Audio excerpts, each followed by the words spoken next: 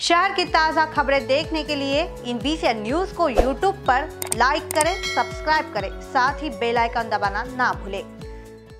शहर की ठगसेन प्रीति ज्योतिमय दास ने आखिरकार अपने वकील राहुल गुल्हाने के साथ पांचपौली थाने में जाकर खुद को सरेंडर कर दिया।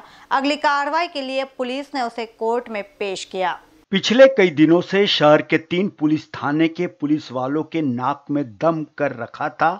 ऐसी शातिर ठगसेन आरोप जिस पर किया गया है, ऐसी प्रीति ज्योतिमय दास, आखिरकार अपने वकील राहुल गुल्लाने के साथ पाचपौली थाने में खुद को सरेंडर किया। प्रीतिदास के ऊपर अलग अलग धाराओं के तहत खंडनी 420 के तहत अपराध दर्ज किए गए हैं। प्रीति ज्योतिर्मय दास के इसके ऊपर में पाचपौली पुलिस स्टेशन में तीन सौ चौरासी चार सौ बीस का गुना दाखिल है। आठ दिन पहले गुना दाखिल हुआ था। उसके बाद में आर पुलिस उसको ढूँढने लगी तो वो कोर्ट में चली गई, कोर्ट में उसकी बेल रिजेक्ट हो गई। हमारे Pachpaoli police station, Lakadganj police station और जेदीपटका पुलिस स्टेशन, यहाँ पर भी उसके खिलाफ में गुने दाखिल है। तीनों पुलिस स्टेशन की टीमें संयुक्त रूप से उसको ढूंढ रही थी।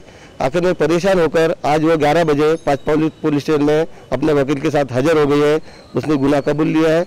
हमने उस उसका मेडिकल करके उसको गुने में अटक किया है। सर पीसीआर वीसीआर के बारे में क्या कहना चाहिए कोर्ट ने कितने दिन का पीसीआर दिया है नहीं दिया है क्या कहना चाहोगे? अभी हम अभी अटक हुई है अभी हम कोर्ट में उसको हाजिर करेंगे और उसका जितना ज़्यादा से ज़्यादा चाहिए उतना पीसीआर लेंगे। सर पुलिस के ऊपर में जो तोहमत चल रही थी जो एक उनके ऊपर में दबाव बना हुआ था इतने दिनों से कि वे ऐसे महिलाओं को आखिरकार जो मतलब गिरफ़्तार नहीं कर पाई थी। क्या चल रहा था वो तीन चार दिन का वो, दरमियान पुलिस के आपके लिए कितना चैलेंजेबल काम था ये? देखो पुलिस के ऊपर कोई दबाव नहीं था। सुप्रीम कोर्ट की गाइडलाइन के अनुसार ही महिला को अटक करना पड़ता है और महिला को अटक करने के लिए बहुत सारी सावधानियाँ बरतनी पड़ती है। उसका वो फ़ायदा ले रही थी इसलिए हम जैसे शाम को छः बजे के बाद उसको सूर्योदय सूर्यास्त तक की अपन उसको ये कर सकते हैं। महिला को हम थाने में भी नहीं बुला सकते हैं। ऐसे बहुत सारे सुप्रीम कोर्ट की गाइडलाइन है, उसका पालन करते हुए हम हम वो गाइडलाइन के तहत उसको ढूंढ रहे थे। हमारे ढूँढने से परेशान होकर आज वो पुलिस में हाजिर हो गई।